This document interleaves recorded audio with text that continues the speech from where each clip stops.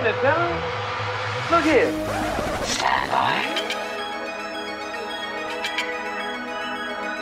One for C-Lab, two for Troy Eagle, three for Wolverine to round out the trio in this episode. Everybody dies.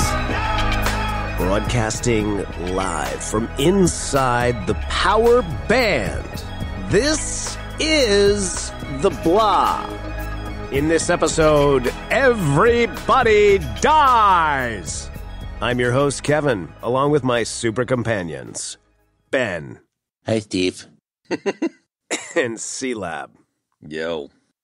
Welcome to the show, folks. This week we're tackling the 1996 classic Multiplicity, directed by Harold Ramis, starring Michael Keaton, Andie MacDowell, Eugene Levy, and a whole host of other wonderful actors like John de Lancie and Ann Cusack and fucking Otho from Beetlejuice is in this. I Dude, just yes. love this shit. Richard Masur is in this. Otho. Bill Murray's brother. Yeah, Bill Murray's brother, Brian Doyle Murray, and Julie Bowen is in this before she got super famous doing uh, Modern Family. And That's where I know her from. shh, yeah, shit, man, a lot, a lot of great actors in this. Excellent script and an excellent movie. Um, I'm gonna start off with. I cannot believe this only holds a 46 on Rotten Tomatoes, man. That is a travesty, dude. Yeah, that's pretty shit. It is like total shit. I don't understand. How do you not see the brilliance in this movie? And certainly in Michael Keaton's performance. Definitely there. Wow, Jesus, it's only got a 6.1 on IMDb. That's crazy. Yeah, it's pretty shitty too. Yeah, what can I say? Uh, I sort of just said it. I love this movie. I've seen this movie so many times. I was commenting in the pregame that I didn't re- realize how many things in my common parlance are actually from this movie. Uh, it's so good. I watched it twice. I took notes. I enjoyed every minute of it. It's just excellent. Word. Next person talk. I don't I don't literally mean this, but my high level is this one hit a bit close to home. Yeah, that too. Just in the sense of like, I don't know. Watching this now with two young kids, I'm like, oh man, this movie's about how fucked it is having a family and like how crazy hard it can be and impossible to the point where you want to clone yourself. But uh yeah, I echo a lot of what you said. It was super funny. Michael Keaton like knocks it out of the park. I had not seen this in easily 20 years. And uh yeah, I enjoyed the fuck out of it. Nice. Benoit. Okay, Steve. Yeah, it's been a long time since I've seen this. I have really, I had really fond memories of it. There was always a lot of, there's always a lot of quotables from this. I didn't watch it until this morning, and I woke up in a really foul mood with just some awful natural blues going on. And uh, yeah, I put this on, and uh, it put me in a great mood, man. I I didn't laugh Nice. out loud a ton, but you know, it just it just brightened my day up a little bit, made me feel made me feel better, distracted me from myself for a little while, you know. So uh, nice. yeah, it's a, it's a classic in my opinion. Yeah, right on. Uh, I, I got to echo back Chad's sentiment that this is like, it definitely hits closer to home now in that one sense of like, this is family life, you know? Yeah. This is the shit show that is family life. Totally. You kind of made it funnier, but it kind of made it stingier. It did make it make it stingier for sure. But I, I also like I I don't know like, we haven't traded too many notes about you know work and home life uh, specific things, but like when I was watching him, I was kind of like, dude, I was like, you're only working Monday through Friday. Yeah, exactly. like, what are you complaining about? no doubt. Yeah. All right, where do we want to start? I forgot he was a construction worker who randomly happens to stumble into a facility that clones people. It's pretty silly. Well, he doesn't stumble in; they're working on the facility. yeah, but I mean, it's it's just like I like how thin how thin the thread is. I I get a kick out of it.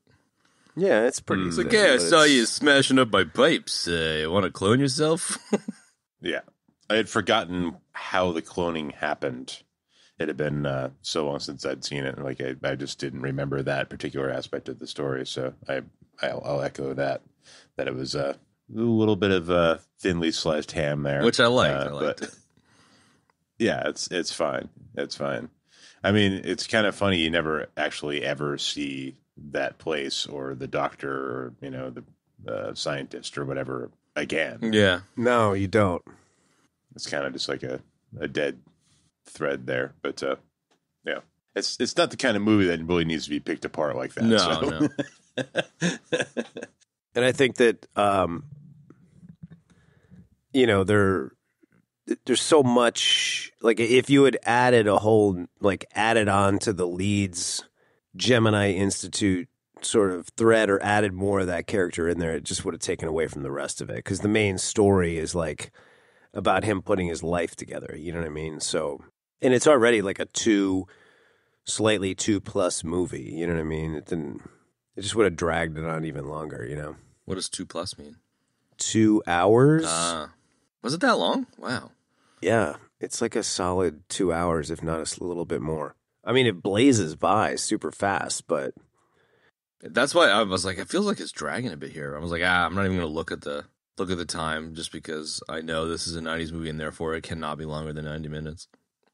I mean, I don't know. I think the pacing is really good in this. And just to kind of finish my comment about what Ben was saying, yeah, it's a little thinly sliced, but like it's it's really a tee up for the whole you know other part of the story, man. So I I'm happy suspending disbelief. You know what I mean, and not worrying about seeing uh, Doctor Leeds again. Yeah, I'm finding nowadays with these older movies that we're revisiting, I'm I'm enjoying that it doesn't need to be an earth-shattering fucking Citizen Kane quality masterpiece every time. It's just like, yeah, it's just a thin thin plot, silly movie about cloning. Whereas nowadays, like I don't know, the heights of cinema are you have to fucking knock it out of the park with Shakespeare every fucking time or something. Totally. So it's just nice to just enjoy a. It's a bit more on rails and a bit more of a ride and super thin plot, and it doesn't fucking matter because it's funny. Yeah. Thinness aside, it doesn't really matter because I've always thought of this movie as like a, a stunt ramp for Mike, Michael Tra- uh, Michael Keaton to perform like you know tricks on. Like Yeah, sure. it's it's just kind of uh, a, a platform for him to like you know stretch out and do a bunch of different you know uh, it's it's he's he's so good man playing you know the four different roles and they're all so different and you know it, it must have been a nightmare trying to do this movie Yeah, definitely. Before you could do it digitally too. yeah but he's excellent you know he's really good Super good, man. I I kind of had compl- It's been been so long since I watched it that I had forgotten that the clones had like different personalities other than the photocopy of a photocopy, number three or number four. Oh man, yeah. I had just forgotten one, two, and three were kind of like, you know, schmucky every guy, and then, you know, alpha male, and then total fucking beta, which I just, I don't know. I got a super huge kick out of it. It was funny. Super stereotypical and silly and dumb and 90s, but like so, so on the nose that it's super funny, you know? Mm. Yeah, I always called him Man's Man Doug and Sensitive Doug. Yeah. Three, two, and two and three. yeah. He and where sensitive Doug breaks rule number one, and she's like, "Wow, that was I just I've never seen you cry like that before." it's like, well, there was that one time when the souffle fell, but you know, other than that, yeah yeah so dumb, job. but I love it. Mm. I think the the killer combo of this movie is that it is kind of a it's lighthearted. You know, it asks you to suspend disbelief. It moves along at a great pace, and it's a comedy, but it's got a lot of heart at the center because it's about you know somebody kind of finding his own center, rediscovering himself, and rediscovering his place in the world. You know what I mean? So, like, it, it hits on all those points really well, man, and, and a few others that I I can't think of I right this second, but I think that's what the killer combo of this movie is and why it works so well. It's all that stuff. When it's serious and the heart's there, it's like it's there, you know. But like, the, and the comedy moments are undeniable, you know. And I like that they use like a sci-fi concept like cloning to, you know, as as a somewhat of a vehicle or as you said, launch platform for that. I think it works really, really well. Yeah, yeah. One of the other things that I that I think aligns with what you said is like it was very it was very American Dream esque with you know the house unfinished. The guy's a fuck up in the eyes of his wife from time to time, Totally. but um also that he's like held down by the man and he just needs to like make his own way. You know, at the end he's like, oh, I'm gonna start my own contractor business. You know, birdhouses, and it's Mm. it's just very like oppressed by the boss and oppressed by the man and needs to find the strength to make his own way kind of stuff. So it's super I don't know if patriotic is the word, but it like aligns with that American dream stuff and it aligns with that like you can make it if you work hard enough on your own kind of stuff. So Right. which which doesn't exist anymore because inflation. Yep. Exactly right. Maybe a little more than because of inflation. Yeah. yeah, yeah. I figured I just like leave it at the one word because we definitely don't need to go there. Thanks, Biden. Uh, anyways, This is worth mentioning. Uh, Dr. Leeds and his clone are both played by Harris Yulin, who's been in a number of films. Love that played dude. oh uh, yes, Horrible Judge in Ghostbusters 2, and he played Buddy in Ozark, which was fantastic. Oh yeah. yes, yes. And he was in Clear and Present finally- Danger, bruh. Wait, what? What? James Cutter. Was he? Oh, that's right. He was Ritter's evil overlord boss at the Mhm. CIA, right? Yeah, man. Oh, yeah, that's right. Ritter. Wow, he was a dirtbag. Wow, man, this guy's been in everything. Yeah, he has, man. He has been in everything. He's awesome, man. I have a great little Fucking freaking legend, man. Yeah, I'm gonna I'm gonna nug out about Harris Yulin for a second, dude, because this is pretty sweet. Roger So- that. Wait a minute. You're hold on. You're gonna you're gonna nug out for a minute. Hold on, dude. You're gonna nug out for a second? Hang on, let me get another beer. All right, so Or are you gonna take your shirt off first? Yes, I am gonna take my shirt off. I was out in LA a number of years ago. I was working and doing some other things, and I was there for a couple, three months. And another friend of mine, who's now a really good friend of mine from the island, was out there as well. And he was staying at this super cool place in Venice Beach, and I went over there and hung out with him a number number of times. And and at one point they were like, um, they were like, oh, uh, you know that this place is actually owned by a, a famous actor, and I was like, oh yeah, really? Who's that? And they were like, uh, his name's Harris Yulin, and I was like, are you kidding me? And they were like, yeah. And uh, I don't remember how they were able to get a hold of or secure this place for rental and the place was it was super cool. It was kind not I wouldn't say falling apart. It definitely needed a little tender love and care, but uh, it was kind of cool. So I stay I I hung out at his place over there in Venice, and I stayed there a couple times too, man. So that's Nice. my nugget. It was pretty cool. Sweet. I like it. Yeah, it was. It was. It was like a sweet kind of classic uh, Venice bungalow. You know, something out of some movie you'd imagine. You know, it was cool. Nice. You got a sweet pad, bro. Yeah, you got a sweet pad, bro. We got wasted there. Yo, uh, Mr. Ewan, you got a sweet pad here. So uh, let's keep talking about the cast. It's got a great I was cast, man. set to see. Yeah, no doubt. I was set to see John de Lancie. Oh man, right? Yeah, I forgot all about the fact that he was in this. I know. I love it, man. I actually kind of forgot that he was in it, and then I was like, "Oh, of course, man." You know, I mean, I don't know. For me, anyway, John de Lancie is probably most famous uh, as for playing Q on Star Trek, uh, Yeah, in which he was Yeah, absolutely excellent, man. Because he sort of just kind of guided the entire adventure for the entirety of the seven year run. You know, it was it was actually pretty cool the way they structured that. You know, and the beginning and the middle and the end. You know, it was really really great. The last episode of TNG was freaking amazing, dude, and he had a huge part to play in that. So. Uh, yeah, hats off to John de Lancie, man. He is such an excellent actor, dude. Really great dramatic actor, and he can be so funny too, man. Like he is in Yeah. this movie. yeah.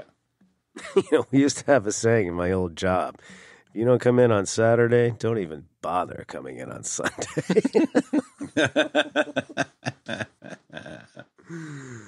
Good times. Don't know what else I know him from, but other than Star Trek, but he's he's great. Yeah, I don't either, man. I know he's done some other high profile stuff. I mean, definitely, very likely appeared in like Knight Rider, Magnum PI, and Chips and shit like that in the Sure. 80s for certain, man. But I don't know what else. He's The- just great. The supporting cast in this is was unexpected. It had been so long, I forgot about everybody. Let's see, like Richard Masur and, and Eugene Levy, and Yeah. all, those, all those guys, even Brian Doyle Murray, uh, just fucking some legends of the '80s and '90s. Totally, and a lot of power in that supporting cast, which just elevated the whole movie, man. You know what I mean? Yeah, You know, and uh, Ann Cusack. You know, Yeah, yeah. I didn't realize that she plays uh, Annie January's mom and The Boys. I completely, Yeah, that's I right. completely never Oh, put two and two together there. Yeah, that's Huh. exactly right, man. And um, you know, like that whole restaurant scene with her and and him and Andie MacDowell, it's so good, man. It's just so brilliantly done. Yes. That restaurant Yes. scene was very uh, blind date with Bruno and Basinger, kind of. It did have that. It was a did completely different elements. thing, but it had that vibe. You don't really see like restaurant shenanigans as much anymore. I know it's a shame, dude. What happened to all the restaurant shenanigans? You know, Mrs. Doubtfire had some Yes, excellent totally. restaurant shenanigans, dude. Like, and and this this too. It's like, what what, what happened? You know, blind date, like same thing. Restaurant Might have been might have been waiting, you know. Mm. The movie Waiting. That that might have just blown up all oh, maybe. All don't think I've restaurant shenanigans for all time. It's quite possible. Yes. Yeah. Yeah, it's great. It's like great cringe comedy. Lots of What do you mean? worthy stuff going on there. Or just maybe not even maybe not cringe, but like, you know, it's it's like very the whole scene is very anxious, you know. Yeah. Yes, definitely, definitely. Just keep digging There's the a couple moments like that. I love how like Michael Keaton's making out with Andie MacDowell to distract her, and meanwhile there's like fucking bombs going off in the background, you know, like plates flying and fucking people getting tackled and shit. It's like And they ripped an entire tablecloth off that one table. so dumb and funny. Yeah, it was. Yeah, I love when the uh when the maitre d gives into the bathroom and he's like he's got himself like in the kitchen sink. He's like, well you've never seen never seen the guy watch another guy's face before? Super love that. uh, good stuff. So good. So many times he's like so afraid of somebody else discovering the other him, but it's like, you know, never really thinking like, oh, well, this could be like my twin brother. You know what I mean? Like nobody would know the difference. Yeah. You know what I mean? But like the, his reactions are so overreact, and that's what is so great. You know. no doubt. yes. because he's so paranoid about somebody finding out. You know, he's always like diving under a table or like doing that, like shoving the guy's face in the sink. like there's water freaking flying everywhere, when he's splashing his face. So good. Did you change your sport coat? Yeah, it's the thing that guys do, you know. Just do we swap sport Yeah. coats? Uh, Just change sport coats in the men's room. Yeah, he said, you know, said he liked it, so why not? he's such a bad liar, which means he's such a good actor to play such a bad liar. Yeah, that's good. I mean, there's just uh again, like you said in the beginning, Benny, endlessly quotable, man. There's just every scene, there's just great quotable lines. It's a really, really well written movie, you know, I think. Um the dialogue is excellent and you know, the cast of of uh, seasoned uh, supporting and main actors really just drives it home, man, and drives that that excellent writing and dialogue home. So it's great about it. Like I, I got a kick out of this. I didn't like. I didn't find myself like smitten though. Whereas I with like a Groundhog Day, I would say I I I hold that movie in legendary status. You know. Definitely. Um, I don't know. I'm definitely smitten with this movie. I think it kind of is for me, maybe not on equal footing as Groundhog Day, but it's pretty damn close. Like it, it's really, really good. There's not a whole lot to not. There's really not much to dislike here. You know. Yeah. I mean, Groundhog Day. I don't know what it is. Maybe it's um Bill Murray. Who knows? I mean, that has Andie MacDowell as well. There's some similar concepts in there. You know, I don't know. It's an interesting point. Like, I, I think this movie is great. I always thought it was super underrated. I never got why more people hadn't seen it. Definitely underrated.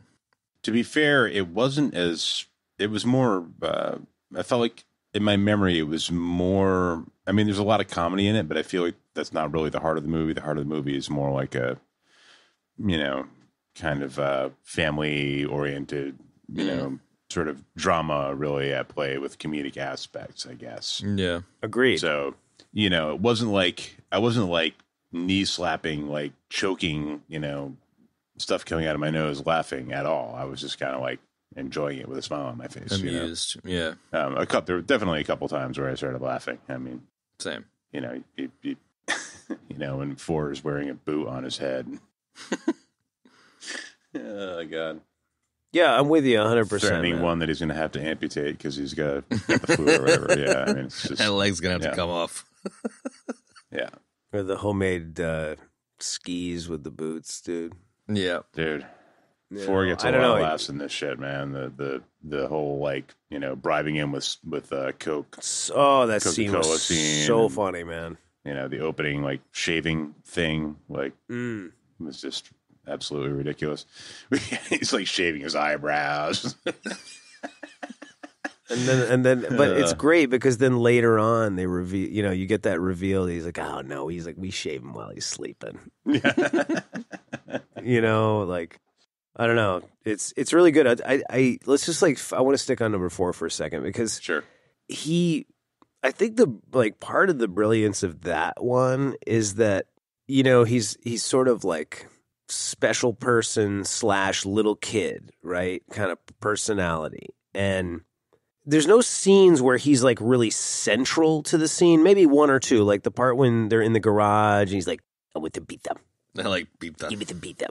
You know, there's a couple of quick scenes like that, but like for the most part, he's kind of background adding to the rest of what's going on, and like it's so well done that like I don't know, I, I'm- don't know if I how to say this. It's like it's like kind of like when we talk about like the music, you know what I mean? Like when the music's blending so well in like a film, like a film score, it's like you don't notice it like as a separate entity Mm. because it's contributing to the whole. Like that's kind of how I feel about the number 4 part. Like it's so excellent and so good. And most of the time it's sort of background slash periphery that it's like you don't notice it you know, like you don't focus in on it, but it's like it's always there and it's always really, really good, man. He's just like jumping in there with like little comments here and there, you know, like does, it, does that make sense what I'm trying to say? Yeah, and just like excellent. You know, he's like a human cartoon character. He's just Yeah. you know, Exactly. It's it's about the physical comedy, and you know, I I, don't know if this is, something you know like something that I'm thinking or if it's something that actually happened. But I know at least in a couple of roles, like I feel like they used to cast uh, Keaton uh, in like kind of more silly, over the top kind of roles. I'm thinking like you know Night Shift with, with Johnny it's like- Dangerously, totally. Johnny Dangerously, you know, and uh, you know, I felt like he'd been drifting more towards more subtle roles at this point in '96. So it was fun to see him, you know, kind of get to do like the ultimate goofball character in this. And uh, Totally. yeah, it's great. It's he's like, you know, he's just four is described as like the inner child uh, completely taking over. You know, he's just sort of like ADD and like, you know, it's a total goofball. Interesting. He was uh because I've watched it 75 times with my kid. Uh, he was Ken in Toy Story 3, Barbie's Ken, and he was fucking hilarious in that, man. Like that's a really really good movie even if it's you're not watching Wait it with a kid. second. He was Ken Yeah, in man. Toy Story 3? Mhm. Oh man, I love that movie. We've talked about this a little bit before. That's an excellent movie, dude. Yeah, on its own without kids, it's it's actually like a super nostalgic movie. And it's really dark too, Oh, man. super we talked about that. Yeah. Yeah, really, really dark. So I, I love I love Michael Keaton when he's when he's playing I don't know more comedic roles. I mean, obviously I like him in his serious stuff too, but yeah, yeah, I totally agree. No, Wait, Yeah. Toy Story 3 was with the uh Lots of hugging the bear. bear. Yeah, Yeah, uh, yeah, Ed Asner. Yeah, right, right. Okay. Mhm. I have not seen that one. it's Uh, actually worth checking out. It's uh Really, yeah, like really is. I was watching it with my kid. He was like two in my lap, and by the end of the movie, I was like, you know. Oh my god, it's sad. No, dude, It'll dude, make the you end cry. is like the most nostalgic, heart stabby, fucking "you're growing old, you old fuck" thing ever. It was just like, oh man, it was was hectic. It's a great movie. It's really well done. I'm going to go ahead and skip that one. Thank you very much. Whoa, yeah, you gotta make sure you're in the right headspace for that one. Yeah, I agree with your uh, your little blurb there, Chad. I agree. You're right. He did do. I forgot. He did a lot of goofy movies, man. Like, do you remember Gung Ho? That was Yeah. another goofy, weird movie. You know, about making crappy cars. Nope. you know, and like, you never saw that? No, we're we're missing the Oh, obvious man. Beetlejuice. I've never seen Gung Ho. That sounds pretty good. Well, Beetlejuice, yeah, that goofy, but that's another brilliant like Keaton comedy movie. Oh, you no know what I doubt. mean? And like I think Beetlejuice came out like within a year or two of Batman, which was excellent. I think we all love that original Batman. So Jesus, I don't know, forgot man. He's uh Beetlejuice. what's that? I forgot about Beetlejuice. like I noticed Otho, and I didn't think of the irony there that you know They were both is in the Beetlejuice. second movie that he's been in with uh, with Keaton. Yeah, Totally. And I think um like the thing about Beetlejuice though, it's like he you know, and, and again, this kind of is like what I'm saying about number four. Like he blends so well into the character of Beetlejuice, man. It's like you don't think Michael Keaton. You're just like, oh yeah, it's Beetlejuice, and you kind of forget that it's him. Yeah. You know what I mean? yeah. Like kind of like I just did right there. You know, like I I always forget about that. He's got incredible range, man. He the, does, the guy no can doubt. the guy can do anything. You know. his stuff that he's been doing in the last couple of years, like Birdman and playing the Vulture and Spider Man, like hmm excellent, excellent work, man. Yeah. Very interested to see him as uh, the Bathman in both Batgirl and The Flash. Uh, I can't wait. Wait, I can't wait to see Michael Keaton as Batman again. What is that? Batgirl. A movie that's coming out. Is it? What, what do you mean? Like a full on movie, not just like a Warner, like a DC TV show? It looks like it's a movie. Yeah, it's on it's on the WB. Dude, they've got a whole like they got a whole universe of television as well. That's why I asked. Yes, I No, no, it's a movie. Uh, J.K. Simmons is Commissioner Gordon, Michael Keaton is Bruce Wayne, and Leslie Grace as Barbara Gordon, aka Batgirl. You, but you mentioned you mentioned uh, the subtlety of four in the sense that he was, you know, in the nicest way possible, like kind of background for some of the scenes, and I feel like it was the same for a lot of the cast. Like a, a lot of the secondary cast had very, very, very small roles, but memorable and like well executed. Exactly.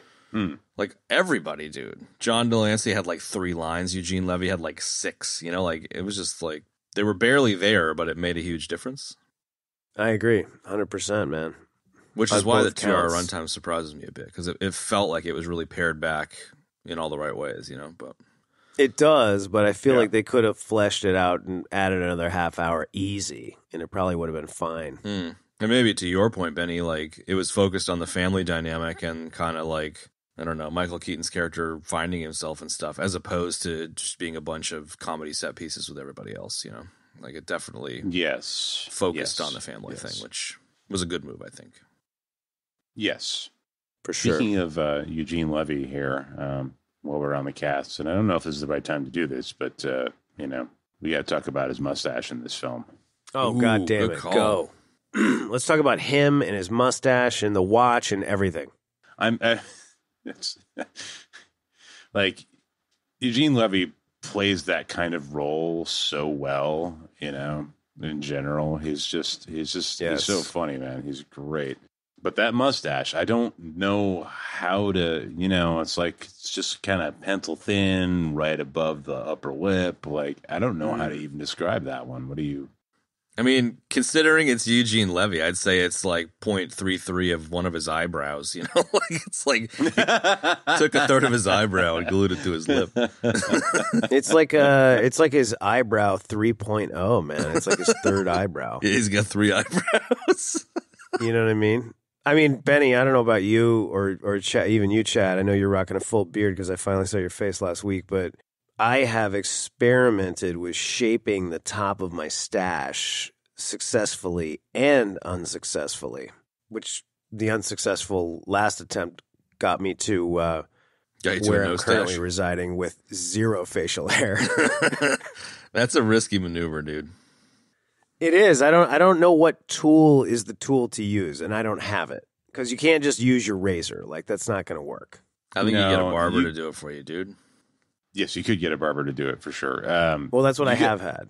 Yeah. you you got to have some thick, some thick hair up there on your upper lip, I think, in order to pull that off. You got to If start with a anytime I've ever tried to remove part of my mustache, it just like falls apart. Like yeah. you know, it's like there's just not enough hairs there to really pull off a partial mustache of any kind.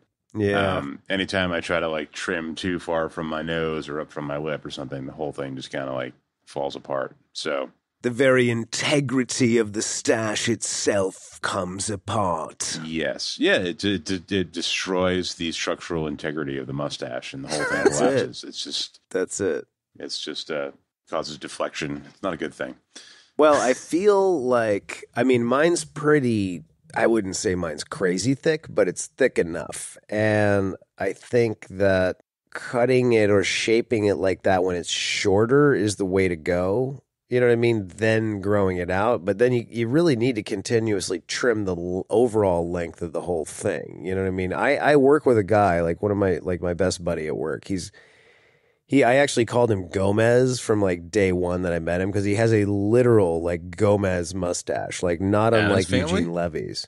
Like Addams Family Gomez. Yes. Yeah, like Addams Family Gomez, yes. And it's it's similar to what Eugene Levy is rocking in this um this episode. We should have some show art of his face with the stash up during this part. Yeah, I've got a full screen image of it right now. It's really helping.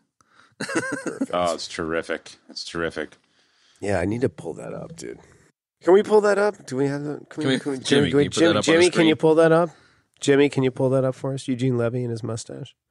Um, I don't know. Like it's, uh, I, I, I still to this day do not understand how he dials in that Gomez stash because it is so thin, and it's like he never seems to lose it. He never loses the shape. He never loses any of it. I, I don't know what it is he's doing because he shaves every single day for work. You know, that's why he's late all the time in this movie. That, it, that is. You're right. You're right. It's not he's the shaving watch. his stash? It's the Yeah, mustache. it's not his watch. It's because he's fucking sorting that stash out. He's not leaving the house without that thing tip top. Wow. It's all about stash maintenance. The dude would be like, you know, early every day if he didn't have to contend with that. if it wasn't for that stash. Yep, that's it. he doesn't really i always seem to think that he always has a stash but i'm looking at just like i did an image search on him and it's like he has no stash in like every one of these pictures No, I I don't know that I've ever seen him with a stash except for this movie, which is why I had to comment on it because it's kind of a Yeah. special special anomaly there. yeah you know what i think you're right about that I let think you know can the triple eyebrow. It's not even a triple eyebrow. Well, I'm I'm happy to call it a triple eyebrow because it's funny. The triple eyebrow plus the gold ring plus the like white in his uh, upper mutton chop area, like on the side. It just ties the whole room together, dude. It is so good. holy Yes. shit bro hold on man you are just laying down some serious shit here wait mutton chops what are you talking about Well, above the above the sideburn, you know, like in the uh, upper side area where it kind of goes dusty on dudes. Sometimes he's kind of got that. He's got Yeah, a bit yeah, of a yeah. Reed Richards thing going on. He does have a bit of a Reed Richards thing going on there, no doubt. And that stash, that is exactly what I'm talking about. Now I have a picture of it up. Like, that's what I'm talking about. Like my buddy at work. Like, that is a freaking Gomez, dude. He's got a solid gap there too in the middle. That's a fucking risky maneuver all by itself. Oh, All- you're damn all right, it, it man. It's the whole thing. It's it's precarious. Well, I mean, it's one thing because I've done this in in the last eight months. Like, I've shaved the top of my stash to shape it, but I dare, I've never dared to try to shape from the top of the lip up to try to give it some more shape. Like that is like some next level stash mastery that I just don't possess. I mean, the reality of this is like it's it's it's they spent all their special effects money on this because they needed to get in a makeup artist to come in and you know give him a trim for like six hours in a chair every day. You know? Rather than getting like a latex suit put on they just like he just sat there sleeping from 4 a.m call out to get this thing dialed every day. You know it happened Yeah, I got to get into makeup for what? Do you have like prosthetics in this film you're working on? No, s- shave my stash. Yeah, I got a his Gomez. mustache. He's like, oh, dude, you got a Gomez in this one? Yes, yeah. I'm in the chair for hours, man. Yeah, Jesus, man. I'm I'm I'm thinking about it now, and wow. Any, anytime I see somebody rocking with that that particular stash, I'm gonna gotta go to, shake their fucking hand. I'm gonna have to think, uh, yeah, a little Yeah. harder, and be like, bro, that takes some work. That's dedication right there. You gotta go up there and be like, you single, man? You, you got any responsibilities? That is dedication. Hey, I bet you're always late for work, aren't you? like, how'd you know that? I, I think that like that stash is definitely like a level 10 Gomez stash. Like Good, it's yeah, perfectly coiffed. You know, it's got a nice chuff to it, excellent sculpting. You know, what can I say? I I was able to sh- to trim the top of mine and kind of get a similar shape going to that, but not nearly as thin. I'm afraid to try to make it too thin. I feel like I feel like this stash though, it actually doesn't have any chuff. It's Schrodinger's chuff. Like you have to start with infinite chuff and then you pair it back to just where it ends No, up. You're right, man. Like there's no chuff left, but you know that the only way you can get here is with infinity chuff. Dude, that was like the best thing you've ever said on this show, man. Oh my God. yeah, I don't know, man. The the chuff there might actually just be mascara. Oh, maybe. I mean, Let's maybe- not. all right, all don't right, shit all on right, my dreams, ego. I want to call this thing completely natural. now that I look at it, but uh, Infinite Chuff by Chad Walsh. It's the only way you get there, man. You got to start off with infinite chuff. You really do. You've got a really excellent point there. And it's like one hair at a time. It's like a fucking bonsai, dude. It is, dude. Mr. Mr. Miyagi's in there fucking trimming branches. Right, with those little teeny manual Yep. spring loaded scissors, Mhm. dude, you know? Yep. little trees. Ralph Macchio saved that mustache from the side of a cliff. I was only able to pull up one photo of him from that movie. Is I it him pointing? I did a, yeah, I did a Bing search. Well, I just that's put half your up problem. in uh, WhatsApp. So Oh, wait, there's another one. Well, thank you for bringing up the stash, Benny. I, I would have missed the opportunity for a steak and mustaches there. Yeah, and we would have missed Chad's excellent uh, best thing he's ever said on the show. excellent chuff commentary. yes, Because Richard Masur had a beard in this, right? It wasn't a stash, correct? yes, Correct. yeah. And if I remember correctly, we don't give uh, shout outs to beards generally. Generally As a not. Rule, no. I don't have anything against beards. I actually have a beard right now, but uh, I have also been rocking a short beard. it's really just cover for the mustache to come in again. But uh, you know, Yeah, that's it. It's like it's like a Trojan horse for your stash. it's, it's hard to just grow a mustache. You know, It is. It is because like you're left there inevitably for like weeks with like some weak kind of like uh you know um what am I trying to think of like some sci-fi thing with some dude growing a arm back or something. Keep going. It's all you know what I mean like like, like the like the little tiny baby arm from uh, the Expanse. Yeah, Exactly. yeah, kind of like that, man, or Yeah. kind of like uh, Tony Sh- Tony Shalhoub in Men in Black, you know, and he like shoots his head off, and then like the new head grows back, but it's like all weird and shit. Tony Shalhoub. T- Tony Shy Halud. Shalhoub, dude. Tony Shalhoub. Yeah, you you don't want to get caught with uh, just some little you know dirty Sanchez you know peach fuzz stash. Nah. you, you just it's not a good look, man. You gotta No, no. you know you gotta Trojan horse that shit. I was just thinking yes. that Yeah, sneak it in. Yeah, you really do, man. growing a mustache straight without the beard, it's like it's like backing up a trailer. Like when you first start doing it, you just fuck it up all every which way. But there are some people that are just pros. Well said. and you see them back up a trailer, like fucking goddamn, that dude knows how to back up a trailer. And I feel like it's the same thing. Where you're just like, mm. that dude knows how to grow a mustache.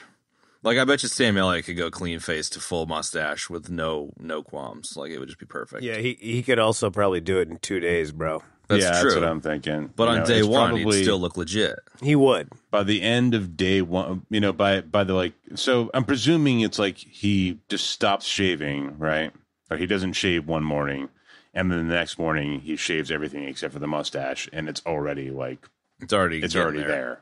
It's Yeah. there. Like it wakes him up in the morning. And he's like, "Mm, "Hey, dude, we got some beef for dinner, man. Time to get up. He wakes. Yeah, he's li- he's he's Time asleep. He's asleep on a bar. mint." He's laying with his Hey, back dude. down on a bar. That's where he slept for the night. Hey, dude, maybe maybe you don't want that razor to venture to your upper lip. I'm kind of feeling like a scenario, like a movie or something, a story where the mustache is very much like um, I can't remember the proper name for Doctor Strange's cloak, but that kind of situation where Oh. the shit jumps off his face and like so we've got a bit of a look who's talking for kind of thing. well, it like jumps off his face and it goes and does shit and it like wakes him up and like Did you guys ever you know, watch the like- uh, the animated uh, the old animated Tick series? oh, definitely. yeah, oh my god, it was so long ago I don't remember any of it.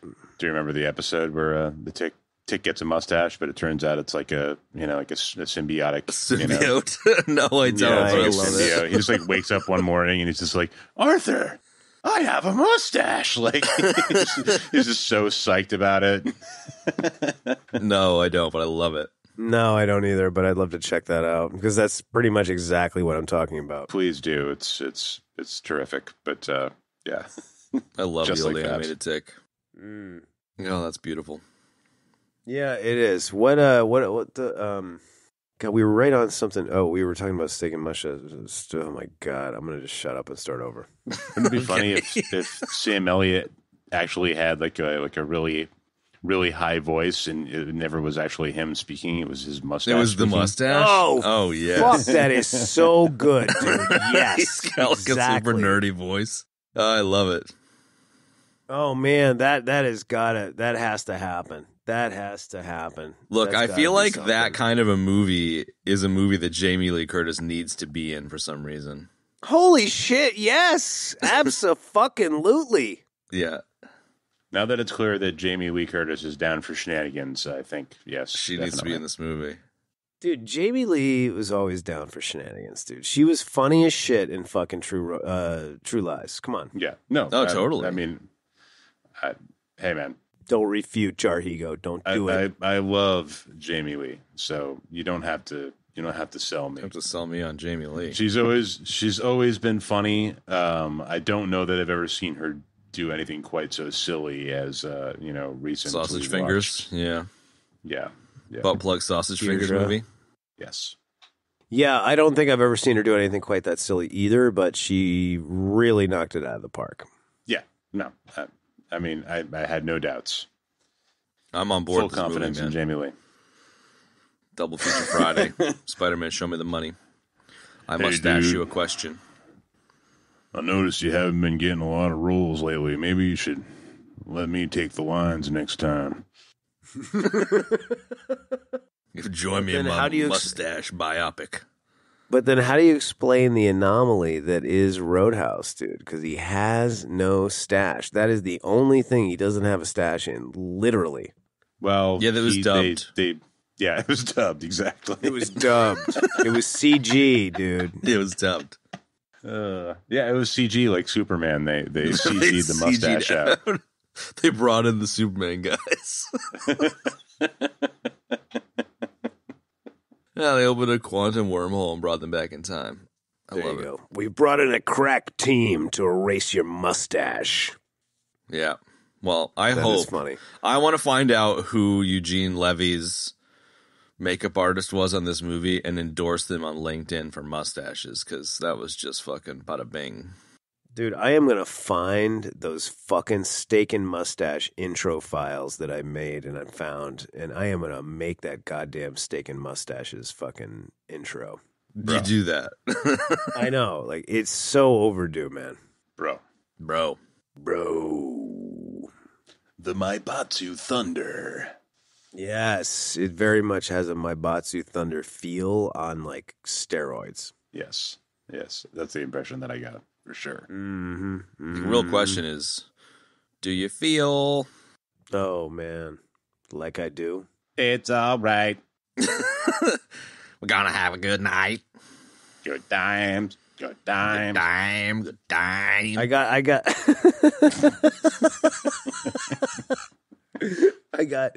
Every time it gets brought up, I pull Frampton up on YouTube and like, and I just like periodically play little snippets of it in the background while we're doing the show. no doubt. Dude, I sliced the song up for all of the Wawa Weewas, and I have it permanently stored in uh, one of the multi tracks, so it's like ready to go. At the drop of a hat. man, Dude, that is terrific. I love that. well done, Chad. I love that. I'm I'm so glad that's part of the show war now, and uh, Mm-hmm. it's it's needed to be there, and it's good we got it now. Mm-hmm. Mm-hmm. A worthy addition. That's all right. Andie MacDowell, ladies and gentlemen. Let's shift gears out of steaks and mustaches into the gloriousness that is Andie MacDowell. I love Andie MacDowell. She's so great. I do too, man. If uh, lo- if the lore is serving me correctly, which it may not be, uh, Andie MacDowell was, a, mo- I think, a model first, man, and then she transitioned into acting. I could be completely wrong about that, but I don't know. She's quite good, man. I wouldn't say she's on the same level as Keaton, but she's damn good, dude. And she's done a lot of great stuff, man. Like this and Groundhog Day were really great. Oh, dude, yeah. You know, Yeah, maybe maybe to gripe gripe out a little bit, and I think it might have been the writing. Maybe not her acting, but maybe more of the writing. It's like Oh, I found her willingness to be like, "Yeah, I actually love you, you big lug." To Keaton's character here, when he was being such a fuckwit, was kind of un a little bit unrealistic, but it's a unrealistic movie, so who cares? Like at the end, you know, blows up his fucking marriage talking about pizza, and then he's like, "I fixed up the house." Hey. She's like, "I love you. Yeah, Our pond yeah. is so nice." It's like okay. you know, it was the '90s. They weren't they weren't trying to make realistic movies then. They were, Yeah, you know. exactly. Yeah, yeah. Well, I mean, I don't know. I mean, it's also a case of like, well, maybe that's not the right thing to say. I mean, like Gunny, like Gunny Highway. I've been reading a lot of Cosmo recently, and it just isn't very realistic. You know, I've been uh, I've been Doug threeing out a little bit with my souffles. Wow, check you out, I think Doug You three know. might be one of my favorites in this whole movie. dude. Oh Doug, God. sensitive Doug is like the best man. Yes, described described by Harold Ramis as uh, What? sorry, the name went out of my head. I'm trying to think of it. God damn it, Snoop Dogg and Doctor Dr. Dre, Dre. no, not Dr. Dre. Snoop Dogg and Warren G get to regulate. You know, uh, you know, like uh, uh, homemaker lady uh, went to jail. Oh, Martha Uh, Stewart, Martha Stewart. Yes, thank you. Snoop described as Martha- What the? What, are you not aware of? Are you not aware of the Snoop Dogg and Martha no, I am. Stewart I am. show? I Okay, totally am. okay. I just love that that was the that was where the the synapses in your brain were firing, just like Snoop Dogg. Oh, it's, uh. the, it's the most. Uh, to be honest, it's the most I've ever watched uh, any content that contained Martha Martha Stewart. Stewart. But um, Wow. but he was yeah. Uh, Doug three was described as Martha Stewart on acid. which totally makes sense. I love it. Okay, I get that. Just the fuck him fucking teaching Andie MacDowell and then like zhuzhing her hair or whatever. Dude, Yeah. the whole Do the- do yeah, this. the whole t- yeah, Do the this. tuck tuck fold scene is so excellent, man. You know, can I just see? It just frames you better. Air is the enemy. You know, it's it's so good. So Andy I is love that he um, always has his button up shirts buttoned up to the top button. totally. Reading the Celestine prophecy as he's getting seduced by his wife. Oh my god, that was so excellent, man. I love that. Fuck, it's good stuff. you know, because you guys are because you guys are like a couple of lions. Wow, that's a lot of ribs. What is that? Is that like a slab or something? it's so great, man. It's just so good. Oh god damn it. Rico. You're you're Lance, I'm guessing. Guess again. I, I I don't know. Try to try to stay on Andie for a second because we were talking about Keaton already. Um, she's uh she does good. Like I, I mean, she look she does the part exactly as it's supposed to be. I mean, she's yeah, she's a straight of, guy. She's a yeah, straight, she's the straight, guy. So she like plays the mom and she's like, you know, sexy and sweet and cute all at the same time and gorgeous. Like, I mean, that's sort of like her, you know, her thing. She was very similar in, well, actually, she wasn't very similar in Groundhog Day. You know, she was very uh, kind of sweet and gorgeous and cute and then like a mom at the same time in this, you know, and she played it well, you know, like Mm. she played that pillar, that straight pillar, so that Keaton could just kind of bounce all around, and it, and it worked really good, man. It was Mhm. great. Was anybody else getting similar uh, sort of mild creeper plot uh, vibes to Face Off, where it's like kind of a similar thing, where like the wife is sort of being gaslighted? Yeah. I I thought that she found out it towards the end, you know. I thought I for some reason just like assumed that she finds the clones and then like I don't know, somehow That's what I thought, but it's like he never never tells her.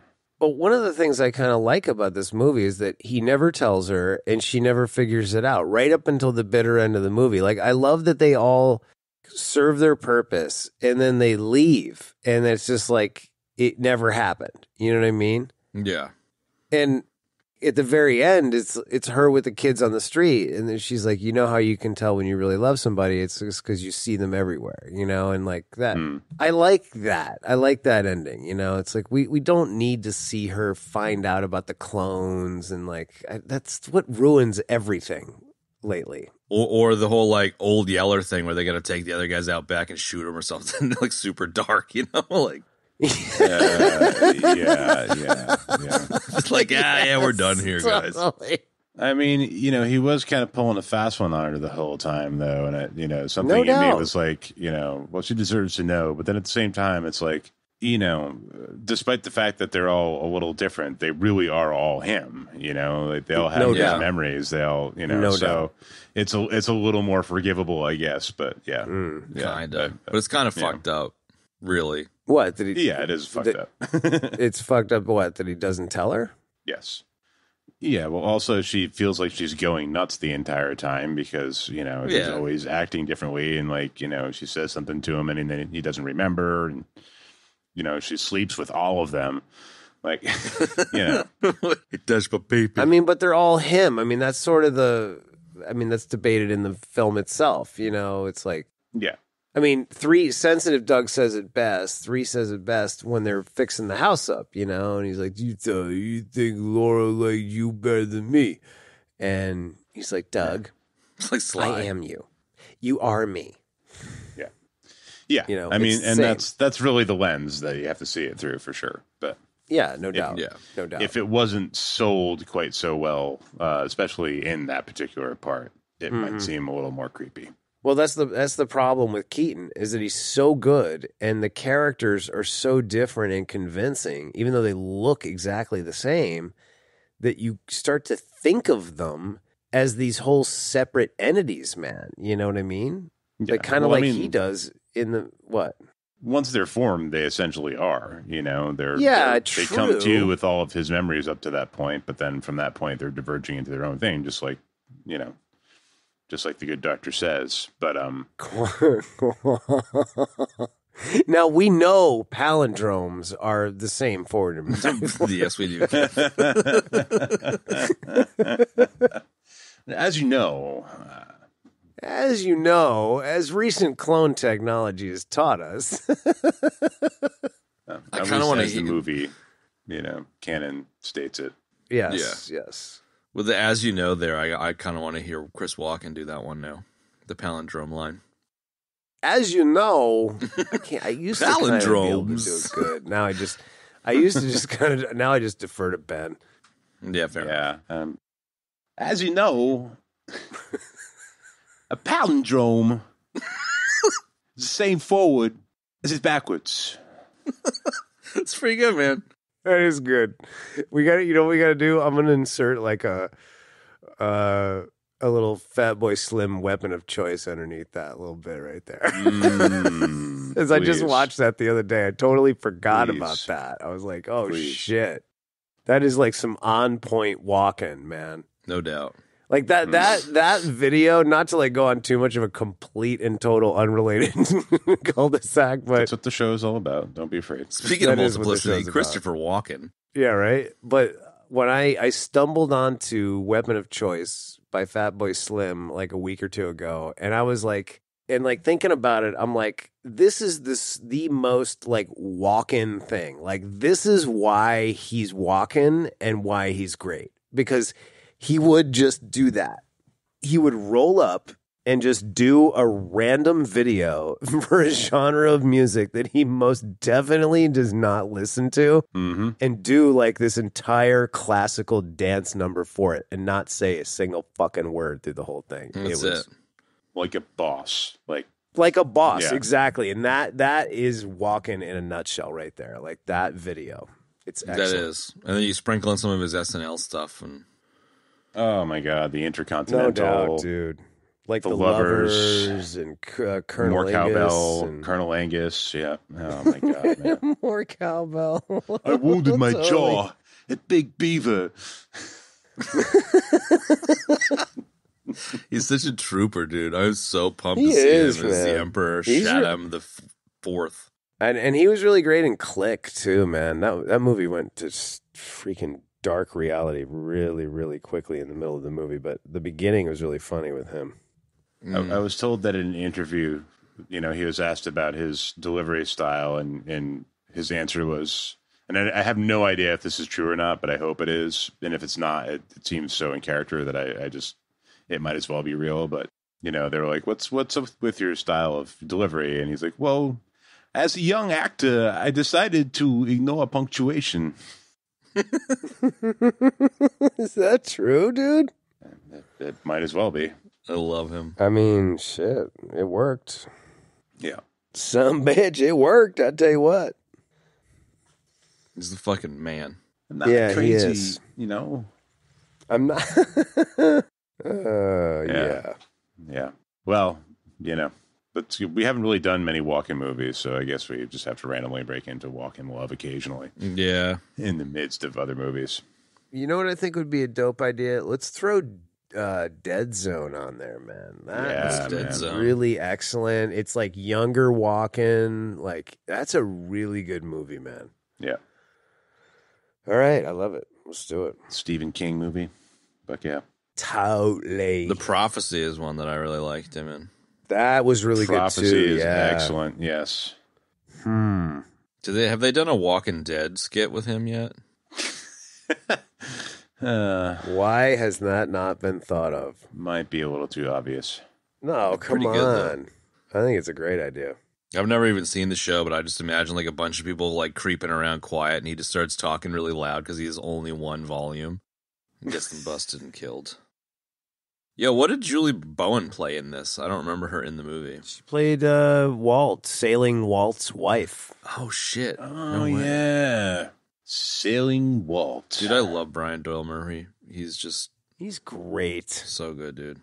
I always forget he's Bill Murray's brother. Yes, I, I believe I called him Bill Murray's brother at the beginning, and I don't mean to belittle him by any stretch. It's But all uh, good. yeah, he's great. There's kind of a weird little plot line in this, though, the whole sailing thing. Yeah, I guess it kind of like kind of a nothing burger. He's such a prick, though, in a way, for like noping out of his entire life and going sailing. Like, I kind of, I kind of get that. I don't know, man. I, I don't. I, I I can identify with him, like Sure. need, needing a break. You know what I mean? To just kind of like Yeah. regroup for a minute. You know what I mean? So Sure, but I it's mean, an to- ass thing to do. to what? To go Yeah. sailing? No, to clone yourself and lie to your fucking entire life that you're doing it so that you can go sailing. Like, there's nothing can wrong go with taking a sailing. break. It's just the way Nice that I he goes get for about that. it. sailing if you're a dick. That's true, too. I mean, I don't know. I kind of get like the intention of it was good. You know what I mean? And I think like from his perspective, like cloning yourself so it would be you, and then yeah. going and doing something. Like I, I could see how he would think that that's okay. I think maybe we may be digging a little too deep here, but no, but it's the uh, first no. time. The first time he clones be himself. fair, yes. he was and then he he, clones himself sailing again. so he could have. Sorry, no, it's all good. what was that? I'm just saying he he the first time he clones himself, yeah, totally, and then he clones himself again because he's like, oh, I gotta take care of the kids now. I, I don't get any time to myself, and then he clones himself again, and he's like at the baseball or the fucking basketball and shit, you know, like like the lesson of, Yeah. the lesson of the movie is that uh, even if you clone yourself once, it's not enough because of just how much of a juggle life is, but don't clone yourself again, bro. Yeah, I thought Yeah. it was. It's all quality time, but. uh yeah, it is. What I was going to say is, uh, it wasn't like he was just sailing because he wanted to learn how to sail. He was trying to Hmm. do, you know, he was trying to do something romantic for for his wife. yeah. I'd kind of forgotten about that, but uh, yeah. Yeah. So there was a reason for it. He wasn't just like, I want to learn how to sail. All right. So uh, where do we where do we want to go next here? Are we Bits ready for like bits and bob? Yeah. Right. Bits and bobs, beautiful, love it. Good because I got a lot of uh, great bits and bobsy lines. Dude, the whole thing is bits and bobs. Oh, shut up. Number three, number three is airplane that he's making before he says he loves pizza. Four You mean number four? Sorry, number Get four is right. pizza, uh, airplane. with like all the all the copper nineties from like like plumbing nineties all over the back of it. In the Oh, you background, mean there's all like, these really nice model airplanes, and he's got this like two by four with a bunch of bottle caps nailed to it or some shit. Oh, you mean Yeah, like it's- when he's got the glue gun and he's just Yeah. going to town talking about the pizza? Yeah, and like Yes. he's got like a Yeah, yeah, plastic yeah. mask with like glue hanging off of it and shit. Oh, it's perfect. Mm-hmm. Mm-hmm. I love uh, right after you know, right after he clones two, and he's like showing him the uh, the garage apartment. They like they're, they're talking, you know, they're talking about like how they're going to kick ass at work or whatever, and they're just like they're like both like we like like nodding at each other, and like I don't remember exactly what he says. Kevin, you probably have that queued up, but uh, you know, you know what I'm talking about. yeah, and they chest bump. like yeah, we're gonna kick ass, yeah, yeah, like, and they're both like not like all pumped up and like nodding at each other, like Oh, you mean like uh yeah, when they're talking about taking Ted down. yes, yes, yes, Yes, that is an excellent excellent part. yeah. Uh, I didn't realize how much I say this all the time, uh, but it came from this movie and I forgot. Is uh, when he, we first reveals to Laura, Laura that he's um, that Dell King has gotten him as an assistant at work. or no, no, no. Before that, sorry, before that, when she's like, "Yeah, they fired Richie Degrassi," and she's like, "Oh, well, who's going to do his job now?" She, and he's like, "Well, guess who?" And she's like, "Oh, were they going to give you more money?" And he's like, "No, it's more of a prestige thing." I love that. probably That's- give me a, a plaque maybe or exactly, man. That is my go-to for anybody that gets like a lateral promotion. You know what I mean? Like I, I got something like that at my own job a couple of months back, and I was like, yeah, because my my girl said something similar, like, oh, that's great. So. What, what are you like? You're like a manager now. I was like, yeah, it's kind of more like a prestige position. Love it. Good times, man. Good times. Uh, go ahead. Somebody else, Chad. Hmm. I think the intro of Eugene Levy with the breaking the wrong driveway was pretty good. yes. Excellent. Oh, Doug, this is gonna cost. like who? Wait, what? Who? Me? Yeah. Oh, Doug, I can't afford to eat this. and and again, like you- like you- you know, you guys uh, commented on how like you know a lot of the the periphery players, the supporting cast, they, they don't have a lot of screen time, man. But what they do like really hammers home. Like Richard Masur, uh, you like when Doug walks into the office, I think it's like the first time we see him, and he's like, he's like, Doug, come in here, and he's like, Do you hate me? Why are you trying to end my life? Talking about the guy's driveway that he just destroyed, you know? yes. I just love how precarious Doug's life is with this Del King bullshit, you know, where like there's nothing worse than a boss that you bust your fucking dick off for and then like as soon as you like do one thing wrong, like, yeah, you're fired. It's like fuck you, bro. Yeah. like this is the worst kind of job in the world. Yeah. Yeah. You really aced that. It was perfect. Perfectly done. Yeah, totally. Benny, what else you got? Yeah, I had something. To, but give me you, somebody else. Go. Give me a second. The I- party I- I the party scene, dude, with the the girls in the apartment is really great. Oh, with Lance and Rico, dude? Yeah. Yeah, I had that on my list too. Nuke my corn dog. So good. so cr- so crass. so crass and so like mm, such a guy's guy thing to say, dude. But the microwave like, it was from the perfect. A&P. Yeah, yeah. A and P Mini Mart. I mean, still be wanting to nuke my nuke my corn dog. What, what, what am I supposed to do? What was I gonna say? No. Uh, when they when they go to the Gemini, when we were at the Gemini Institute for the first time, and right before he tries to jump in to fix the pipe that's leaking, he turns to that one guy and he's like, "Are are you guys getting paid to watch her ass? Because you're doing a terrific job." Yes. oh, that fucking cracks me up, dude. I'll tell you what. Yeah, you would. I like when he uh, walks John de Lancie in the uh, porta potty and has the dude pick it up with the fucking bobcat with the Yes. bobcat with the forklift. Excellent. Yeah. Yeah. Um, I here's an, another one that's near and dear to my heart. Is uh, I don't remember when Vic says it first, but I believe it's when uh, Doug cans him. Uh, because my dad and my brother uh, have, in the past have done the same thing. They haven't done it in a while, but like uh, Vic, what time did I tell you to be here? Uh, let's see. It's uh, two o'clock in New York, so that would make it. Uh, that whole stupid thing with the watch was great, man. And uh, my my dad and my brother do something similar when they would leave me messages, and they'd be like, the message would start off with like a full minute of establishing and trying to establish what the actual day and time was that they were calling, oh. dude. And it was a shtick, or it was like they actually didn't know what the fuck they were doing. No, like they actually this is something that they did and like and then like I saw this movie and it totally reminded me of what they do and then I like made fun of it even more, man. You know, like they'll they'll go uh Kev, yeah, it's uh hey, it's Dan. It's uh oh, shit, let's see. It's uh oh man, where is a clock? Um it's uh 9:58 on uh oh man, what day is it? Hang on. Let me get my calendar out. Uh Wednesday. It's Wednesday. like no lie, they would do they would Wow, kind of guys. Cool, man. Yeah, yeah, it was great. And then Yeah, you, the really great. timer on your uh, message would boop. That was be Yeah, that. exactly. And I would, there would be no message other than that, them Mm-hmm. talking about uh, you know, I'd like to see them navigate a, a a family member twelve time zones ahead with daylight savings. Oh man, good time. Uh, let's see what else. Oh, the meeting, the meeting and the shirt. When Oh, the, yeah. the first Oh, day God. the two goes in, that fucking bit between him and the secretary is so fucking funny. it's pretty good. So You did. uh, I by was the in the time meeting. uh, I come back out, my shirt will be dry, so I'll have the other shirt on again. And uh, So you okay? when you see me next time, I'll be walking out of the meeting with the original shirt. Are you okay?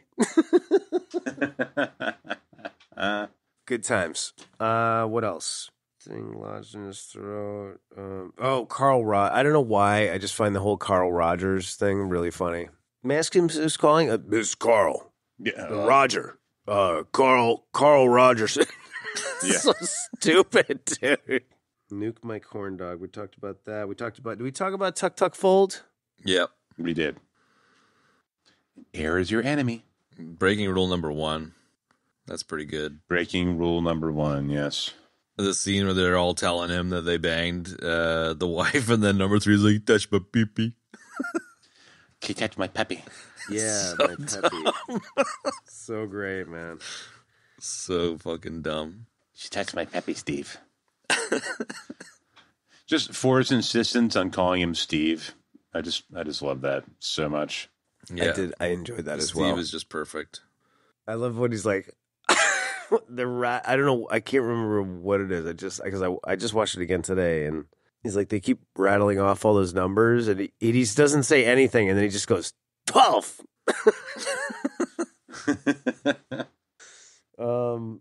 I like the uh the trying to save his marriage scene where he like drives over to see his wife and then he gets her out front and instead of being like I'm sorry baby he's like you know you do what you got to do if you say no you say yes whatever this is like all right man you're kind of blowing this but good luck to you No, because then he goes, "Look, I'm not gonna beg you to come back." Da da da da. And then she opens her mouth, and he gets down on his knees. He's like, "Please come back. Please come back." I like. I, there's a couple times in the movie that he does uh, this. One of them is with the the first time when he when he he gets two and two goes into work for the first time, and he's like coaching the football team and doing all that stuff, and then. Um, the other time is when they're talking about the Disney vacation to Disney World, and um, oh yeah don't bring like, the kids into "Well, this well, no, but she's like, she's like, who's the guy? And he's like, she's like, who is it? And he's like, what? Like, who? Who's the guy? Uh, well, he's just the guy. He's just like a really new guy. He's a really good guy, a really new guy that uh, you don't know. she's like, okay, so you're saying he's new? yeah I trust Do him like trust I trust him? myself Oh yeah. Trust him like I trust myself. He does the same thing later when he's like, uh, "Well, you know, honey, after giving it some thought, thinking about it a lot, and giving it some more thought, I think that you know, whatever you think is is probably the best thing." it's like a buy complete and total non-refundable tickets to non-answer. Disney World you do what Well, what are you nuts? there's a lot of gems in this one Yeah, a lot of gems in this one, man. That's all I. That's all I got. the uh That's it. Sure. Yeah right you don't have a few more I just Fuck can't get over the you. closeout of like the fucking home and garden TV Real House makeover saves the day thing. It's so cheese dick, and I kind of loved it. Yes.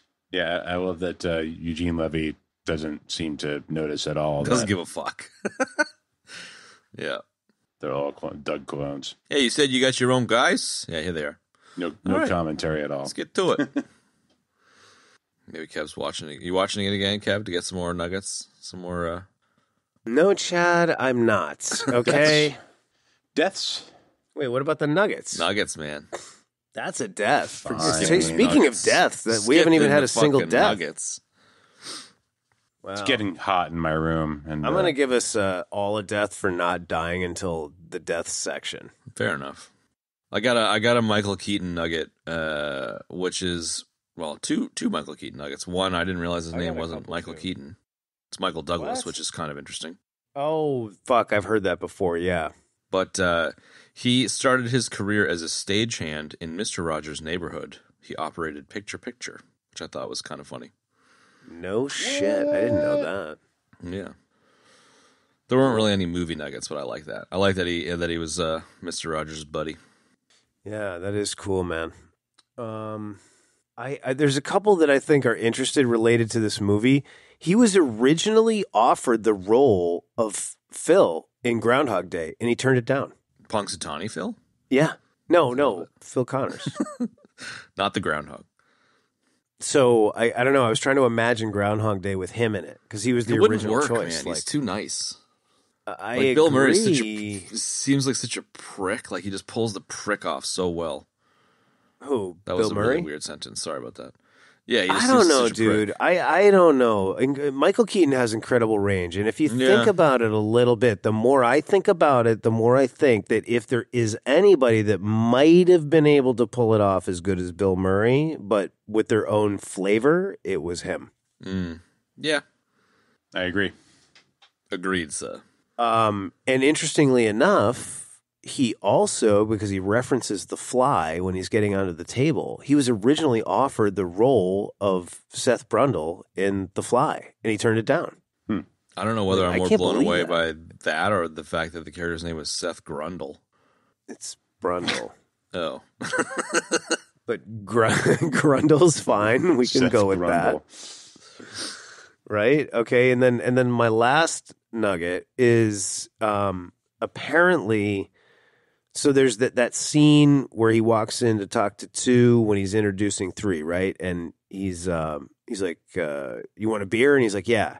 And he's like, "Maybe maybe maybe you should have give me another one," indicating that you know he's got another clone with him mm. and apparently um so they they shoot the scene and the the body double throws original Doug the beer and they were going to i guess they had this whole elaborate thing where they're going to digitally erase the beer can and put a digital beer can in to make the throw match from what the body double did. And apparently when michael keaton when it was his turn to do it um, he did it so perfectly just like the body double did it they ended up calling it something like the million dollar beer can throw because it was exactly like the original throw and it ended up saving them a ton of money by not having to digitally erase it and then recreate it that's cool. which i thought was really really interesting and cool It's funny. Some of the the shit they do with the multiple Keatons in the shot stuff, with like the chest bumping, high five stuff, beer throw. Like there's some impressive It's stuff crazy. in here. Yeah, no it really is man really really Yeah. is I watched a little uh, like twenty minute making of thing on YouTube. And oh yeah. it was kind of interesting how they did it. Like he would do he would do the first take with a body double that was holding a video camera, and then he would do the second take. They would use the video camera footage and they'd put it on like a little TV on a stand, and that would sort of be his acting partner for that part. So he'd be re- like reacting to himself, and they were literally shit. getting like they were getting like uh, they were sending footage like straight to a trailer to be like set up, you know, and have all the, the the double stuff going on at the same time, so that like if there was a third party, he could watch it and make sure that he like had the tone right. And you know, Wow. apparently, like the the shaving cream scene was like a nightmare because he had to do obviously each one of those individually. So it's like you know he'd shoot his part, and then he'd have to go back into like hair and makeup, and like you know, and be gone for like an hour, and then come back and do another shot. So it was like there's a lot of pretty crazy logistic stuff in this, and it's it's really just like you know, again, we're just talking about what a monster Michael Keaton is of an actor, and Totally. having Wow. to like make all that shit work. You know, especially in the parts where Yeah. he's acting with himself. It's just bonkers. I It just is. pic- It I is. picture I picture the shaving cream scene where he's like back and forth into the makeup trailer, and every time he goes in there, Eugene Levy's in there getting his stache trimmed up. Come on, guys! I got to get back over there and shoot. Hey, hold on! It's almost we're almost done here. You can't you can't rush perfection. That's cool. I missed the uh, making of video. yeah, it was cool. It was interesting. There was some pretty funny shit with Michael Keaton, like uh, giving the breakdown of like each character. You know, Okay. doing like a little thing, you know, like he was talking about two, and he's like, yeah, two, two wants to open a restaurant where you, uh, you go out and you, uh, you, you, you hunt before you grill the meat yourself. You, you go out and you, you hunt it and kill it. And, you know, and he was talking about three, and he was like, uh, you know, he, he started, he just like busted into the, the three voice, but he was like, you know, talking about like you know bread is just it's just so basic but it's just so wonderful you know just on a on a on a, on a cold day and you just come home and you make bread you know it's just like going through this whole thing like yeah it's pretty good And he really inhabits it. I love it.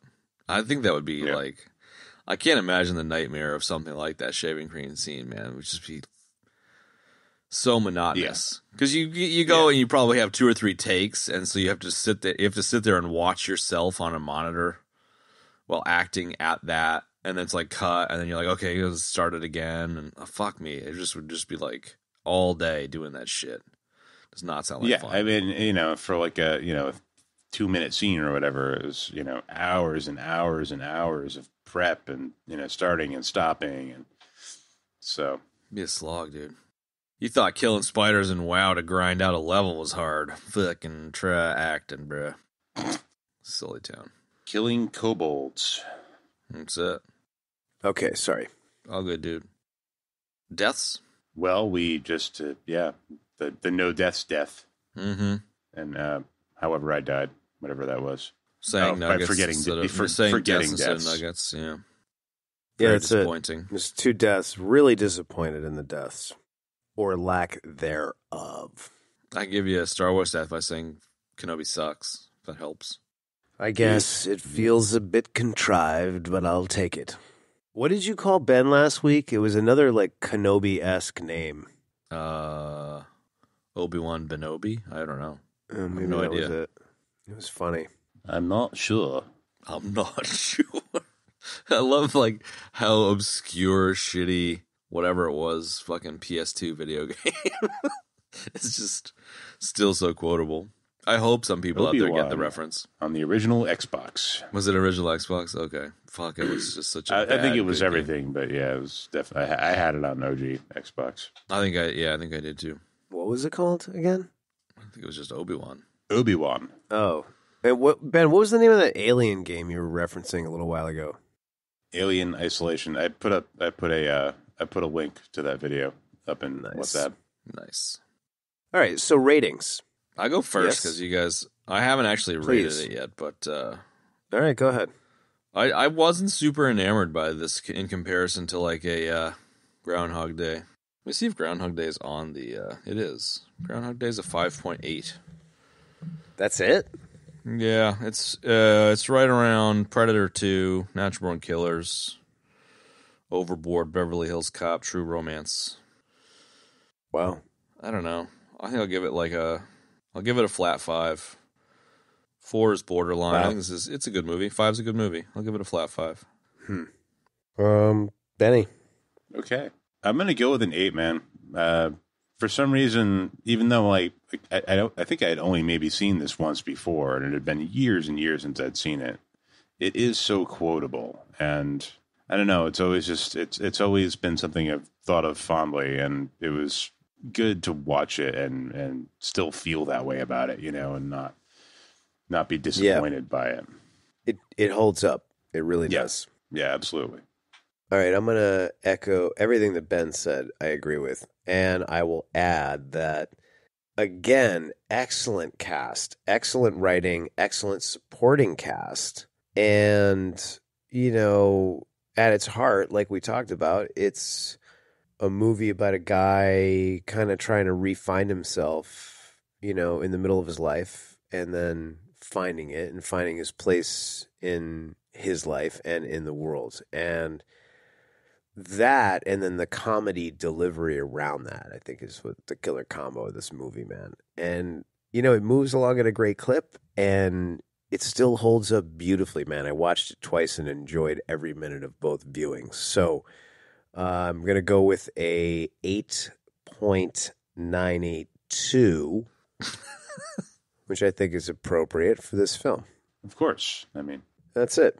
Okay, so uh, hey, Chad, what are we doing next week? Uh, we had nothing slated, so uh, in our off-air huddle that just got cut, Christopher Walken's Dead Zone is on the docket for next week. Boom. There you have it, folks. Chris Walken, Tom Skerritt, bunch of other people, Stephen King. We're doing it. It's going to be great. Awesome. Doing it, man. Do it, do it, Bacardi and Cola. Uh, so not anyway, crazy, you know. I'm not crazy, you know. You know, this is the movie that he says that shit in. He does. Yes. It's great. All right, so uh, there you have it, folks. Uh, thanks for watching Multiplicity and listening to us. Tune in next week for um, Dead Zone. Dead Zone with Steven Scarrett. I mean Christopher Walken Stephen and Hawking. uh, and Stephen Hawking. And that's it. We love you guys. You're the best. Bye. See ya. Bye, Steve. that was so great. And that's going to wrap up this week's episode, folks. If you'd like to support the show, there's a number of great ways to do so. We know you're not going to do them, so uh, I think we'll just end the outro here. No, I'm kidding. We'll suggest it anyway, as we do every week. Please rate and review the show, it's very powerful. Also, tell a friend to check out the show, and then, of course, you can always support us on Patreon. Um, you can find the show notes for this episode in your podcast app O choice or at our website, ebd.fm forward slash episodes forward slash 165. Uh, we are just all over social media. We're smashing like buttons. We're doing all that other stuff. Like buttons. Um, we're smashing like buttons, dude. We're doing stuff. Anyway, find us on social media at EBD Podcast. We spend a lot of time on Instagram. Anyway, uh, thanks for joining us for Multiplicity. We'll see you next week for Dead Zone. One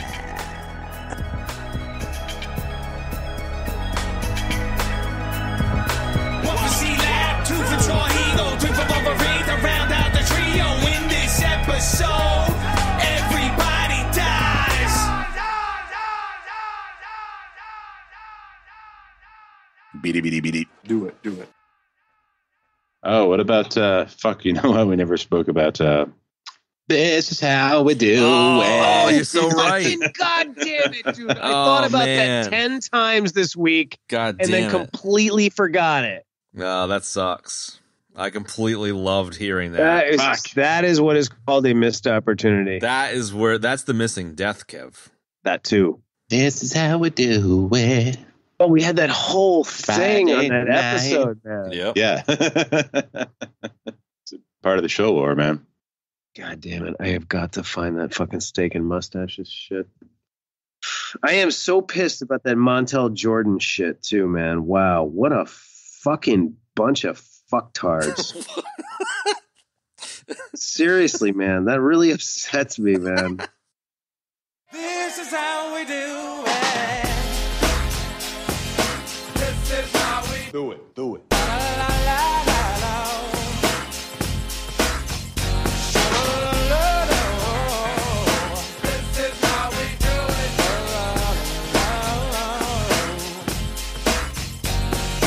This is how we do it. It's Friday night and I feel alright. The party's here on the west side. So I reach for my 40 and I turn it up. Designated driver, take the keys to my truck. Hit the shop cause I'm faded. Honey's in the streets, say money, yo, we made it. It feels so good in my hood tonight. The summertime skirts and the guys ain't canine. All the gangbangers forgot about the drive-by. You gotta get your groove on before you go get paid. So tip up your cup and throw your hands up and let me hit a party. Say, I'm kinda buzzed and it's all does it like nobody does. This is how we do it. To all my neighbors, you got much flavor. This is how we do it. Let's flip the track, bring the old school back. This is how we do it. This is how we do it. All hands are in the air. And wave from from here to there. If you're an OG Mac or a wannabe player, you see the hood's been good to me ever since I was a lowercase G. But now I'm a big G. The girls see I got the money, hundred dollar bills, y'all. If you were from where I'm from, then you would know that I gotta get mine in a big black truck. You can get yours in a six four. Whatever it is, the party's underway. Up your cup and throw your hands up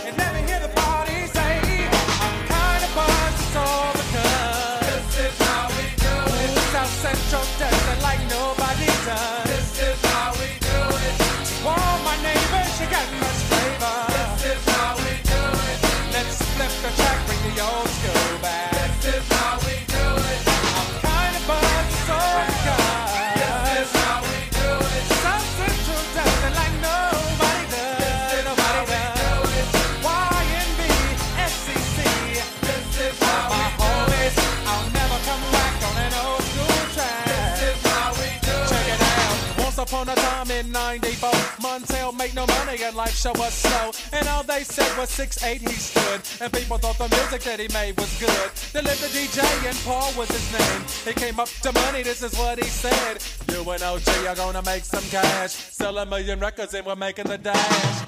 Oh, I'm buzzing the club. This is how we do it. Dancing like nobody does.